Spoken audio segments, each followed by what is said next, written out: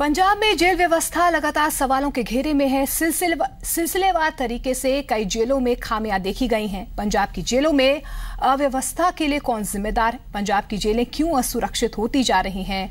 मोहाली से रविंद्र सिंह की एक खास रिपोर्ट देखिए। क्या पंजाब की जेलों का शुद्धिकरण ज़रूरी हो गया है? जेलों में लगातार हो रही घटनाओं के लिए कौन जिम्मेदार है? और जेलों में हो रही घटनाओं को किस तरह से रोका जा सकता है? इसी चीज़ पर बात करने के लिए आज हम पहुँचे हैं मोहाली के गाँव रायपुर कला, और यहाँ पर हमारे साथ तमाम लोग हैं। इनसे बात करते हैं, सर, किस तरह से जेलों का शुद्धिकरण हो सकता है? और कौन जिम्मेदार है इस तरह की घटनाओं के लिए? जेलों दटनावान जड़िया होंगे जी वो जेल का जो प्रशासन है वही जिम्मेवार है।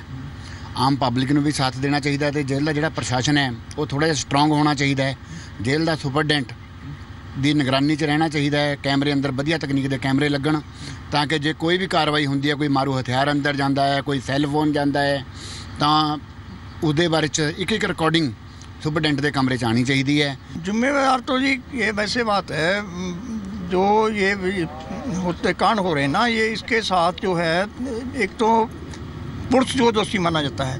दूसरा साथ में ऐसे भी अगर पुरुष के साथ पब्लिक भी साथ दे ना तो इस ऐसी बात नहीं या फिर कैमरे लगने चाहिए। कैमरा ज़रूरी है वहाँ पे। सीसीटीवी कैमरा लगे सीसीटीवी कैमरा लगना चाहिए जेल के अंदर।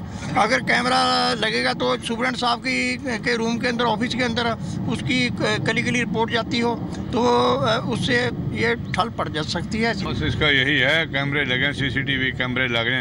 क्योंकि जिस वेले भी कोई आदमी आता है अपने आप उसकी पहचान हो जाएगी ਸਮੱਸਿਆ ਕਾ ਜੀ ਇਹ ਆਪਣੇ ਜਿੰਨੇ ਵੀ ਪ੍ਰਬੰਧ ਹੈਗੇ ਗਵਰਨਮੈਂਟ ਨੇ ਲਾਏ ਵੀ ਜੀ ਉਹ ਸਾਰੇ ਮਜ਼ਬੂਤ ਹੋਣੇ ਚਾਹੀਦੇ ਜੀ